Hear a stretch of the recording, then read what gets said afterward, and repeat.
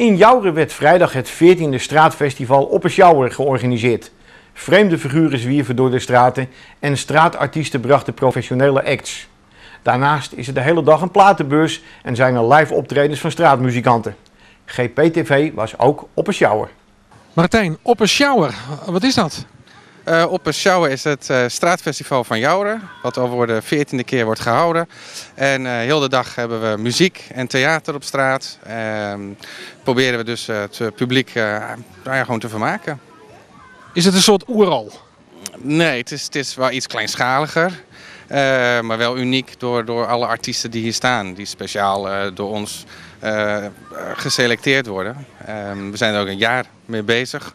Uh, gaan ook zelf alle festivals af en halen net het neusje, uh, of, of de beste artiesten halen wij weg. Uh, we willen echt het neusje van de zalm hebben. Wat staat hier? Wat, wat heb je hier voor artiesten?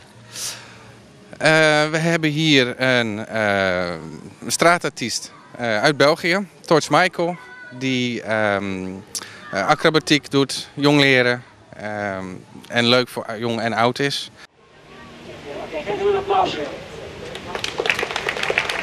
Is pas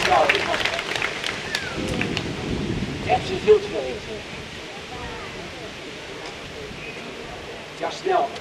Snel.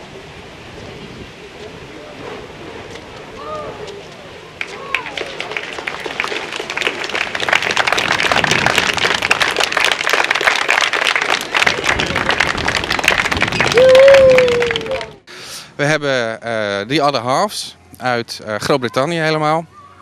En die uh, brengen meer uh, leedvermaak. dus echt ook, ook heel erg leuk voor de oudere mensen. we hebben helemaal een speciale kids area. Um, waar we een goochelshow hebben, een echte poppentheater, taartje versieren, sminken, een luchtkussen. echt, echt genoeg om, om zo'n kind een hele dag lekker bezig te houden en te entertainen. We hebben gelukkig ook een heleboel vrije, vrijwilligers voor. En, nou ja, die met, met alle liefde hier, uh, hier aanwezig zijn. Hoeveel mensen verwacht je op dit festival? Uh, wij verwachten er zo'n tussen de 20 en 25.000. Over de hele dag verspreid. Uh, maar gelukkig, uh, het weer helpt hartstikke mee. Dus die aantallen moeten we zeker halen. Ik zie dat jullie een thema hebben dit jaar.